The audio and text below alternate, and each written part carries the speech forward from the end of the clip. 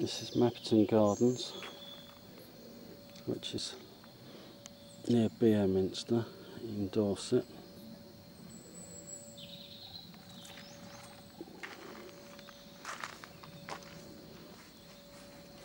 That was originally a swimming pool,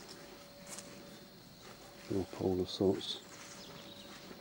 That's the house up there, Mapperton House.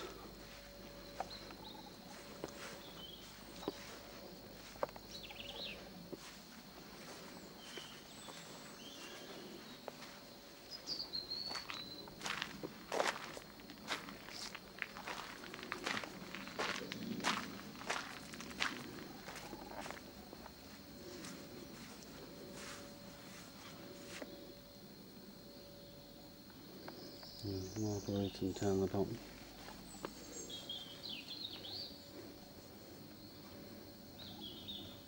That's from, developed from the 1920s up until modern day with three different major owners adding their own blueprints of different aspects of the gardens.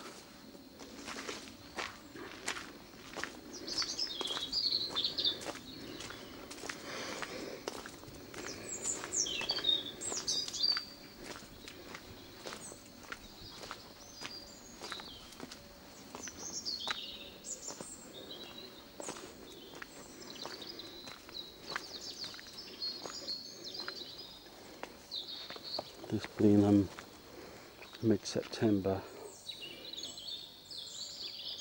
it's probably not as colourful as it has been, but there's still plenty of uh, flowers and plants of interest. Some dahlias and lilies and whatnot.